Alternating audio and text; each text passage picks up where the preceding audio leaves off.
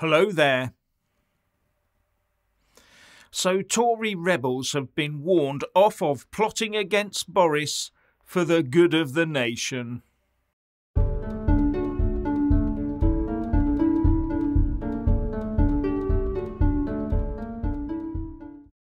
I've heard it all now. Rebel Tory MPs have been told not to try and oust Boris from number 10, with the reason being given that to do so would be bad for the nation. What they're actually being told to do is put up with Boris for the greater good. That well known hard left socialist concept that never seems to end up doing anything for the greater good, only lining the pockets of the few. You would think that Boris had plummeted to the bottom of the Conservative Home Cabinet ratings popularity list or something. Oh, he has. Well, that goes some way to explaining the warning. And how can it be for the greater good if we've got a Prime Minister who is dead set against doing what he put in his manifesto?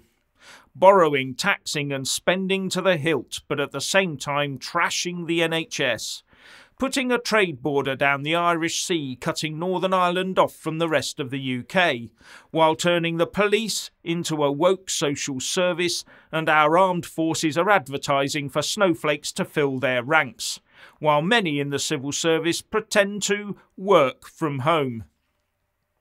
But this warning not to get rid of the Prime Minister does make you wonder how many letters of no confidence now sit in the safe of the 1922 committee chairman, Sir Graham Brady.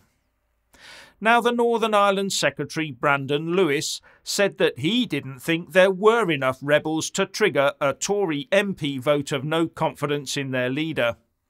And he also said he didn't think it would be in the interests of either the country or of the Tory party itself to do so. Now, the one thing that does bother me about a Boris removal is who would replace him. And would that newcomer sign us back into the EU single market? And when there's one previous leadership hopeful in the form of Remainer Jeremy Hunt sniffing about, then those fears are well founded. And he could well be a stalking horse for a far worse contender because the one that first wields the political knife almost never wins through in the end. But when the Boris support is based on for the good of the party and for the greater good of the country, it makes it sound as if they're now devoid of any real fresh ideas.